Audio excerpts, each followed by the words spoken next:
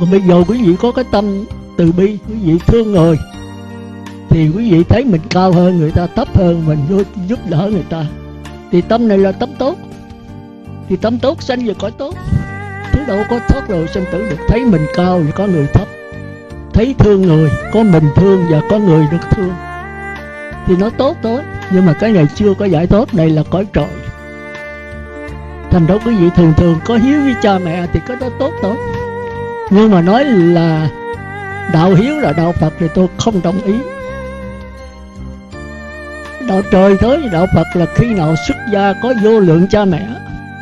Như một kiền liên tất cả chúng sanh trong sáu đường gà, vịt, heo, chó đều là cha mẹ của ta trong nhiều kiếp. Cái đó là một sự thật. Mà sự thật khó hiểu.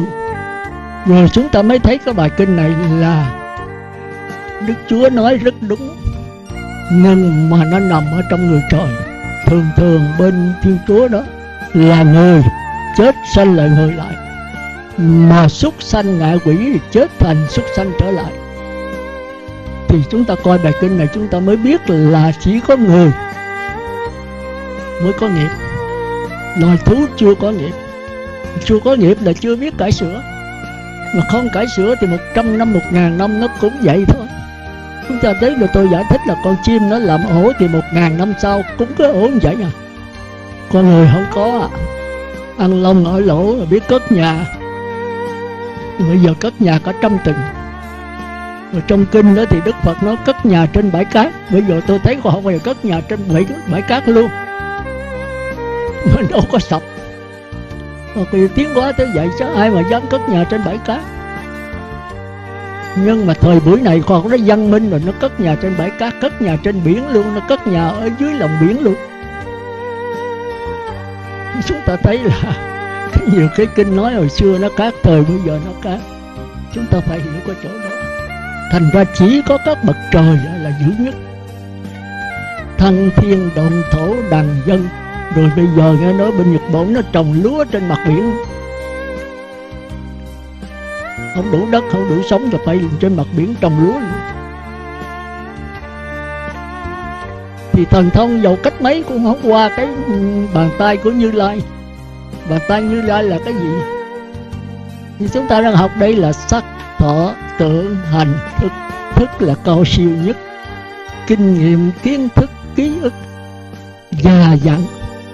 Thì có thể tạo ra tứ không? Hư không vô biên, thức vô biên.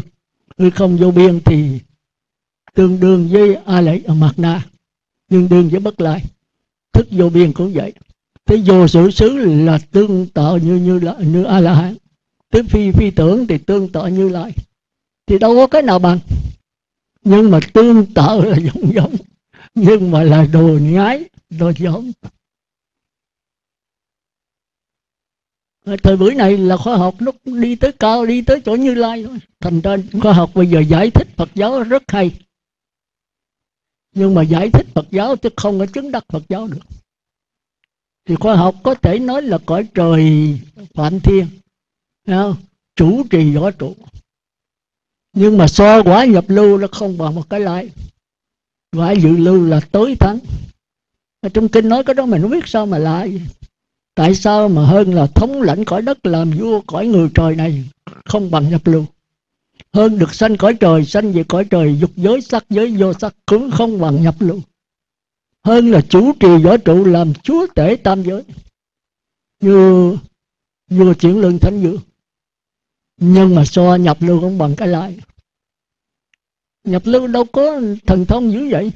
Bất quá là thấy được con đường giải thoát, thấy được bốn đường ác thôi nhưng mà thấy đây là giải thoát đầu tiên, rồi đi hoài tới giải thoát cuối cùng là thành như lai. Còn cái kia là tập trung kỹ mạnh lâu sâu, đè nén rồi đi tới như lai, mà như lai dỗn thì chúng ta phải thấy cái hay ở trong đó, thành ra chúng ta coi bài kinh sáu sáu, tôi giảng sơ thôi, ha.